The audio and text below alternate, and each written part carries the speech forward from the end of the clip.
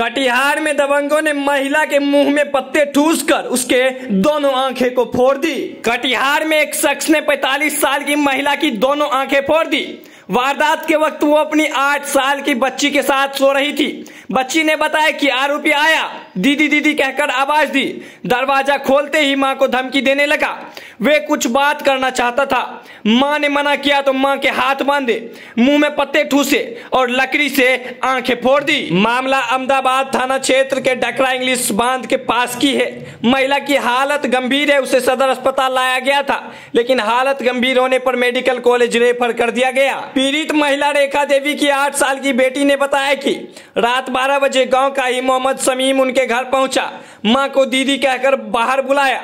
जब माँ आवाज़ सुनकर बाहर निकली तो उसने थोड़ी देर रुकने के लिए कहा। वह बात करना चाह रहा था। माँ ने मना कर घर के अंदर जाने लगी। इसी दौरान आरोपी ने पकड़ लिया और खींचकर पास के पटवा खेत में लेकर चलाया गया। इस दौरान बेटी ने घटना को अपनी आँखों से होते देखा। बच्ची ने बताया कि उस युवक ने पहले उनके माँ के दोनों हाथ बाँध दिए। इसके बाद उनके मुँह में पटवा का पत्ता तोड़कर ठूस दिया। बाद में पटवा को तोड़कर उससे निकली सांठी से उनकी दोनों आँखों में घोप दिया। घटना को अंजाम देने के बाद व्यक्ति फरार हो गया। इधर महिला की पुत्री ने परिजनों को इसकी जानकारी दी। परिजन मौके पर पहुंचकर महिला को स्वास्थ्य केंद्र लेकर पहुँचे, लेकिन हालत गंभीर होने पर सदर अस्पताल रेफर कर दिया। जहाँ सदर अस्पताल में भी महिला की हालत को देखते हुए डॉक्टरों ने मेडिकल कॉलेज रेफर कर दिया। हालाँकि इस विवाद के पीछे का कारण स्पष्ट नहीं हो पाया। महिला के पति छह दिन पूर्व काम करने के लिए बाहर गए थे और महिला अपनी बेटी के साथ बाँध पर घर बनाकर रह रही थी। हालाँकि इस घटना की जानकारी अहमदाबाद थाना पुलिस को दे दी गई है। पुलिस घटनास्थल पर पहुंचकर आसपास के लोगों से पूछताछ करते हुए जाँच में जुट गई है।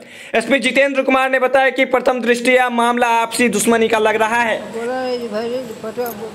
घर में सुता रहे।